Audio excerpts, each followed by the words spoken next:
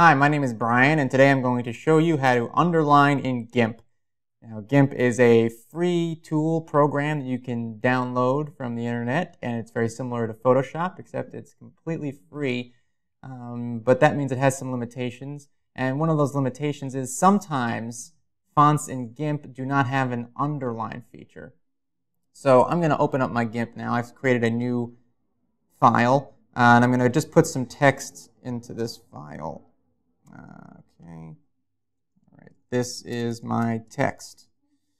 Now, for this particular font, I can highlight my text and hit the underline button, and then my text is underlined. Some fonts don't have the underline option available.